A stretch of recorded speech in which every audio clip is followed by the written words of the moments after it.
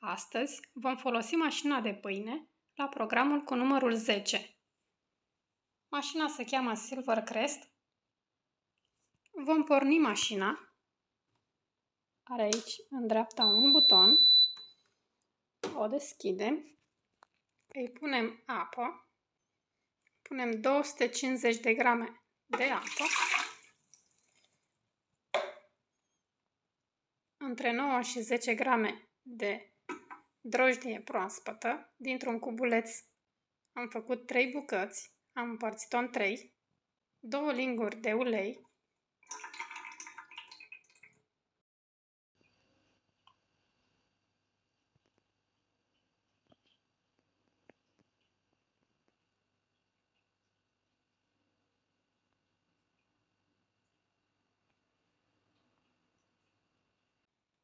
și sare. Prima dată vom pune 200 de grame de făină integrală, iar restul albă.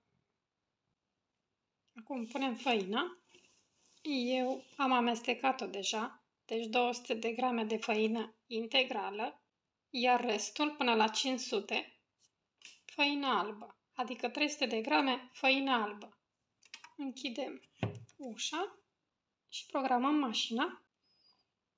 Căutăm programul cu numărul 10 pentru a frământa și a dospi aluatul. Apoi vom scoate aluatul din mașină, îl vom pune pe masa de lucru, îl vom modela și îl vom coace în cuptorul electric.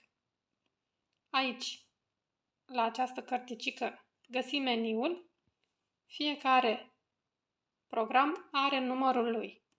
Pe noi ne interesează programul numărul 10 pentru a frământa.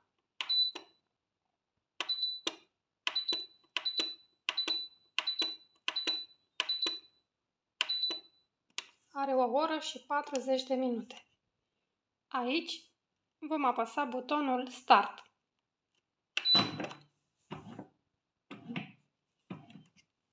Mașina va frământa, apoi va dospi aluatul.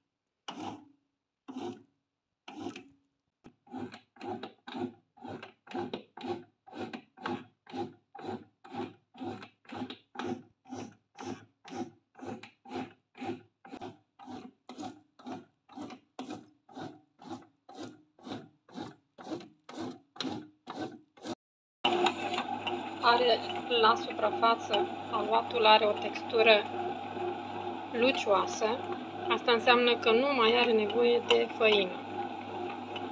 Deci așa ne dăm seama când el este totuși moale, dar nu se lipește de deget. Exagerat. Deci rămâne decât așa normal.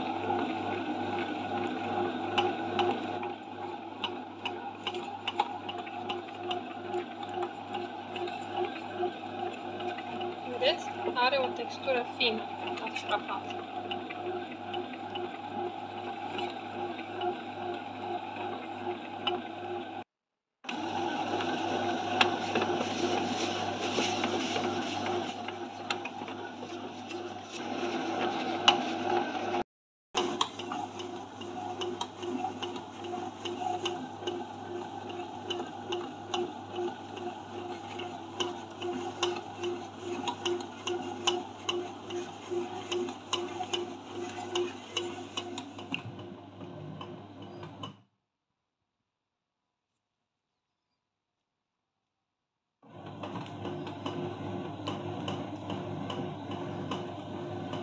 Aici are acest timp în care aluatul se odihnește și crește puțin. Făina nu intră exact. De data aceasta este un alt tip de făină. Eu am cumpărat făina integrală și am amestecat-o cu făina albă. De exemplu, de data aceasta am avut 700 de grame de făină integrală și am amestecat-o cu 1 kg și jumătate de făină albă. Aici mie mi-a intrat, am crezut că o să-mi intre aproape 500, dar nu. A intrat aproape 390 de grame. De multe ori depinde și de făină, pentru că uneori absoarbe apă mai mult sau mai puțin. unele tipuri de făină sunt mai uscate sau mai umede. De data aceasta se pare că această făină integrală și atunci când este cu tărâță, și tărâța trebuie să se hidrateze împreună cu făina albă. Și atunci absorbe mai multă apă. De data aceasta, cum v-am spus, mi-a intrat 390 de grame de făină integrală, amestecată, cum v-am zis, cu făină albă. Acum va sta aici până când își va termina programul ca să și dospească și apoi vom scoate aluatul, îl vom așeza pe masă și îl vom modela. Nu știu dacă puteți observa, este atât de moale și totuși nu se lipește de deget.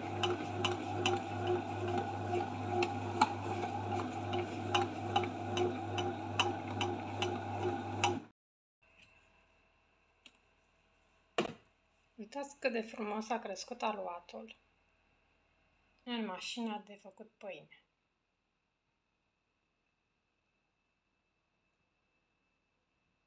Acum îl vom lua de aici, îl vom pune pe masa de lucru și vom modela pâinea și o vom așeza în tavă pentru crescut, apoi o vom pune în cuptor. Presărăm făina. Aici în tavă am pus o hârtie de copt dar putem presăra și făina, nu e neapărat hârtie de copt.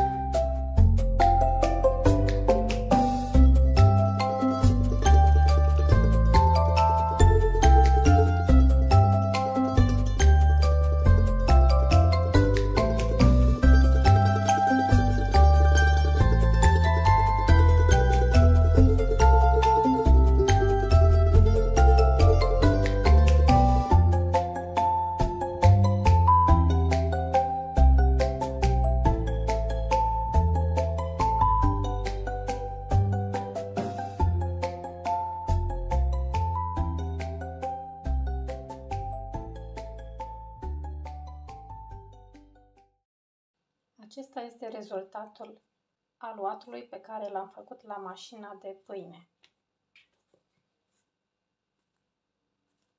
După ce am scos-o din cuptor, am lăsat-o să se răcească complet. Dacă se întâmplă să fie foarte tare la suprafață în momentul în care o scoatem din cuptor, ne umezim mâinile cu apă rece și stropim pur și simplu tava cu pâine de câteva ori iar ea se va înmuia. Noi oricum adăugăm acele două linguri de ulei în aluat pentru ca să putem avea această pâine moale. Altfel, ea nu se va înmuia, această crustă. Acum, să vedem câte o secțiune.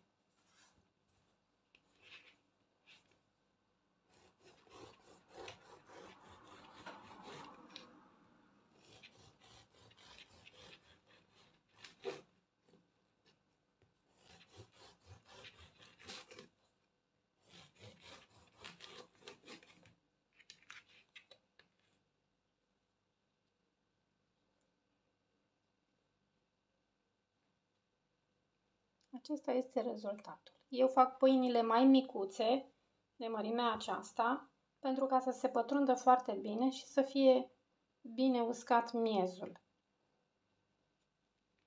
Aceasta este pâinea noastră cu aluatul pregătit în mașină. Eu vă mulțumesc pentru atenție. Vă îndemn ca să probați și acest aluat în mașina de pâine și să-mi spuneți cum v-a ieșit. Vă doresc numai bine și pe curând!